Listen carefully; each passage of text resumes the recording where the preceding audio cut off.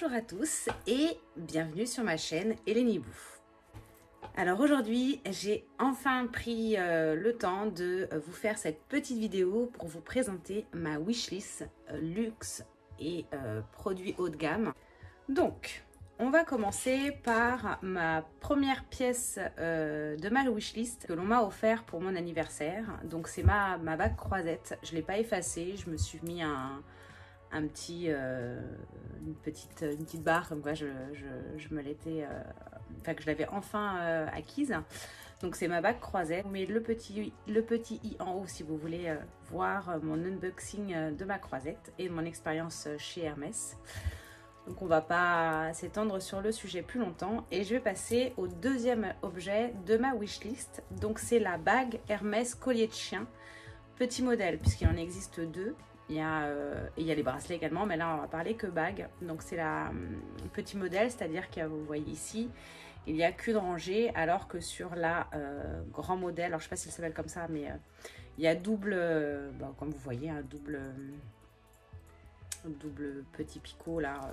donc voilà, donc moi c'est la moyen modèle, je l'ai essayé en magasin, comme j'ai dit dans ma vidéo sur mon, mon déballage de cette bague là et euh, j'ai adoré, j'avais hésité. Donc voilà, donc elle fait partie de ma wishlist. Pour petite précision, c'est une wishlist qui, euh, qui peut bouger, c'est-à-dire que là pour le moment j'ai noté ce que je souhaitais. Mais à tout moment, euh, je peux supprimer. À tout moment, il y a des choses que je n'achèterai pas parce que. Pas, pas parce que je n'en ai pas envie, mais parce que finalement, il y a d'autres choses qui pourront remplacer et que j'estime que finalement, c'est pas si nécessaire que ça. Donc là, c'est une envie du moment. Ensuite, la euh, seconde pièce que je souhaite acquérir, c'est encore un objet de chez Hermès.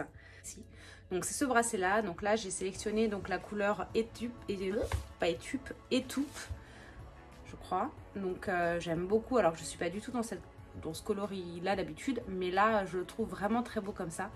À voir en vrai et à tout moment je craquerai peut-être pour le noir. Donc ça je pense que c'est une des pièces que je pense acquérir pour la mettre de ce côté-là parce que de ce côté-là, euh, je suis pas sûre que ça fasse, euh, ça fasse joli. Voilà, après avoir en magasin, c'est pareil, c'est une euh, fait partie de ma wishlist et à tout moment, en essayant, je trouverais ça peut-être moins joli sur moi ou que ça correspond pas ou quoi. Mais voilà, je pense que ça, c'est un bracelet que, que je serais capable d'acheter et qui me plaît énormément et qui rappelle en plus la bague collier de chien. Euh, voilà. Quatrième article de luxe que je souhaiterais euh, obtenir. Donc c'est la ceinture Gucci. Alors, je la trouve très jolie. Moi, c'est le modèle euh, en noir avec le, sigle argenté, parce que je pense pas d'or. Je, trouve que ça ne me va pas autant. Bien que plus je vieillis, bizarrement, et plus ça passe bien. Donc voilà, mais moi comme j'ai beaucoup plus de, bah, comme on voit sur moi, je porte beaucoup plus de matière argentée, or gris ou argent. Donc je, voilà, mon choix s'arrêterait sur la, Gucci euh, avec euh, l'argenterie et non la dorure. Je suis pas sûre parce que c'est vrai qu'elle est vue et revue et j'ai peur de vite m'enlacer. C'est-à-dire qu'effectivement, à force de l'avoir de partout, elle m'a donné envie. Et à contrario, à force de l'avoir partout, je sais pas si je l'assumerai. Donc pour le moment, elle reste dans ma wishlist, mais ça peut bouger. je peux euh, vite m'enlacer et passer à autre chose euh, et à l'éliminer complètement. Mais pour le moment, elle est là. Cinquième euh, pièce de luxe que je souhaite, que je souhaite acquérir, c'est le porte-carte. Soit le porte-carte Saint-Laurent, qui est juste ici. Donc il y a les deux modèles que j'aime bien. Il y a le cuir noir cuir grainé ou alors euh, croco verni que j'aime beaucoup aussi qui est un poil plus cher quand même mais qui me plaît bien. Euh, et euh, le Chanel qui est pas beaucoup plus cher pour du Chanel. Le seul souci de Chanel c'est que je ne peux pas le commander que j'habite dans la région de PACA et que bah, je n'ai pas de Chanel près de chez moi.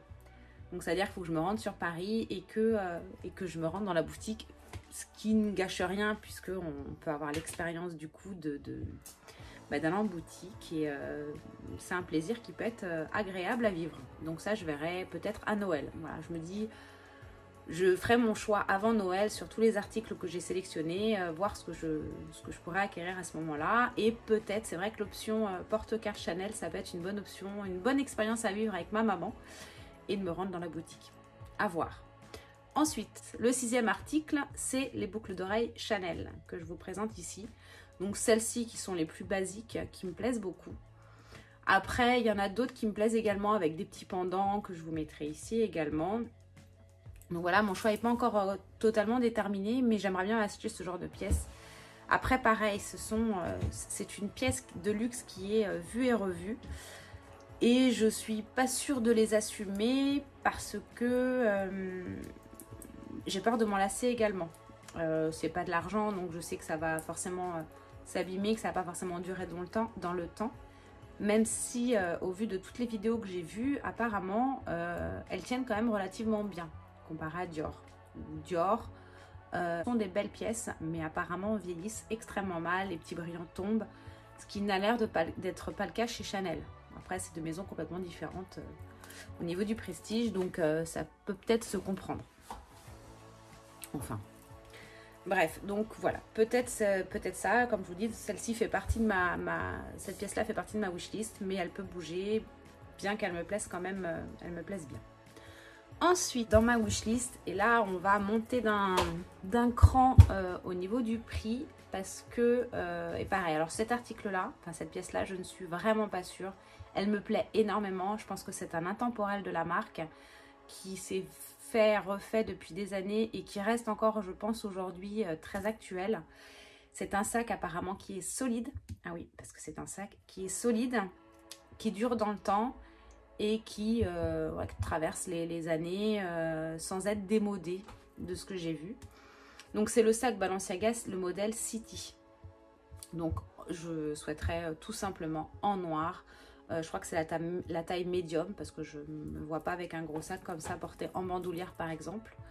Donc voilà, c'est ce sac là qui, dans la marque Balenciaga, qui me fait de l'œil. Euh, à voir. Euh, je le mets dans ma wishlist hein, parce que j'ai un autre sac après où celui-ci par contre je suis sûre à 99% avec 98% de me le prendre. Donc ce sac là c'est le sac Louis Vuitton. Donc c'est le Neverfull mais pas le Neverfull euh, monogramme ou, ou damier ébène ou damier azur. C'est le Neverfull cuir brossé en cuir noir avec l'intérieur bleu marine. Alors il est beaucoup plus cher que le Neverfull basique, forcément, puisque ce n'est pas de la toile enduite, mais c'est un cuir. J'ai vu ce cuir-là en vrai parce que j'ai une copine qui a acheté le cabas et je le trouve magnifique. En fait, la seule chose qui a fait que je n'ai jamais acheté le Neverfull, que j'ai eu l'envie vraiment euh, à 100% de l'acheter, c'était parce que je n'étais pas fan. Euh, le cuir épi, je le trouve joli, mais il aurait pu me faire craquer. Mais les autres Neverfull en, en damier ben, damier azur ou euh, en, monogramme, ce ne sont pas des couleurs que je porte du tout. Je trouve qu'ils ne me vont pas. J'ai un sac Louis Vuitton que vous avez vu dans mes autres vidéos. Je le portais très très peu. Et donc du coup, quand j'ai vu celui-ci, j'ai flashé. Donc il est plus cher, mais je sais que ça sera un intemporel. Donc celui-ci, on va dire à 98% dans les mois à venir, il est pour moi. Alors, la deuxième catégorie, ce sont des pièces euh, haut de gamme, puisque ce ne font pas partie des marques de luxe, mais que ça reste des, marques euh, qui sont euh, qui sont pas forcément qui sont coûteuses, je trouve, mais qui sont accessibles un peu plus facilement. Donc il n'y en a pas beaucoup. il n'y a que deux choses que je souhaite concrètement, même si je peux en rajouter quelques-unes encore mais des choses que j'ai vraiment envie de me prendre. Donc c'est le sac à dos Mage M à franges, donc euh, bah, le sac à dos Mage, voilà, qui est actuellement en solde. J'ai failli me le craquer euh, là il y a quelques jours et puis finalement je, je suis passée sur autre chose. Mais voilà, je pense que celui-ci pourrait faire partie de ma collection de sacs et euh, je pense pouvoir craquer facile. Et ensuite, euh, le deuxième article euh, haut de gamme que je souhaite me prendre, c'est euh, dans la marque Sandro. Et c'est les baskets flammes, celle-ci. Donc ça fait déjà deux, je crois que ça fait deux ans que je touche dessus. Je crois. J'ai une copine qui en a deux paires, mais pas, pas cette couleur-là. Et moi, c'est vraiment celle-ci, les or, noir et blanche, qui me font craquer. Mais bon, je trouve que le 189, je sais plus, il faudrait que bah, vous voyez le prix là, mais Je trouve ça un peu cher pour euh, des baskets et j'ai peur de m'en lasser. Du coup, même si ça fait deux ans que je joue dessus, je me dis à tout moment je les prends, je suis contente. Mais des fois, quand j'ai quand je, réussis à acquérir quelque chose et que je les porte, ben, je me lasse et je me dis mettre autant d'argent pour un produit que je vais me. Donc voilà, donc j'hésite, mais elles me plaisent toujours autant. Euh, comme je vous dis, ça fait deux ans. Donc il est possible que je craque. Voilà. Donc voilà, enfin ma wishlist. Euh, faites devant vous. Euh, dites-moi ce que vous en pensez. Si euh, les articles que j'ai sélectionnés sont aussi des articles qui vous feront envie.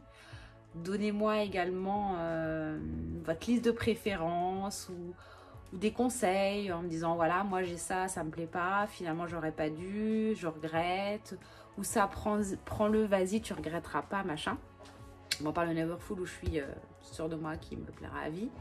Mais voilà, dites-moi ce que vous en pensez. Faut savoir que dans cette wishlist que je vous ai établie, euh, je viens aujourd'hui même d'acquérir une des pièces de, de cette euh, wishlist. Alors, parce qu'en fait, j'ai vendu un article à moi de luxe que je ne mettais que très peu. C'est-à-dire qu'en un an de temps, j'ai dû le mettre, allez, on va dire cinq fois et euh, quand je le mettais, j'étais pas forcément à l'aise. Donc c'est mon sac Louis Vuitton euh, que j'ai en vidéo euh, sur ma chaîne. Donc je l'ai vendu sur Vestiaire Collectif. Et du coup, pour remplacer cette pièce-là de luxe, je me suis fait un cadeau avec ces sous-là. Donc dites-moi en commentaire sur quelle pièce de luxe ou pièce haut de gamme vous pensez que j'ai craqué. Et je vous ferai la future vidéo quand je recevrai cet article euh, parce que je l'ai commandé. Donc euh, on verra ceux qui ont trouvé. Voilà. Ma vidéo est terminée. J'espère que ma wishlist vous aura plu. N'hésitez pas à la commenter, à la liker. Voici mon compte TikTok, mon compte Instagram. Je vous fais des gros bisous et pour le coup à la prochaine vidéo pour mon déballage, donc ma nouvelle pièce. Gros bisous et à bientôt